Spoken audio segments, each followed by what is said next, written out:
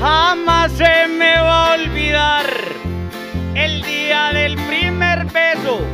Primero me puse frío, ya después me puse tieso.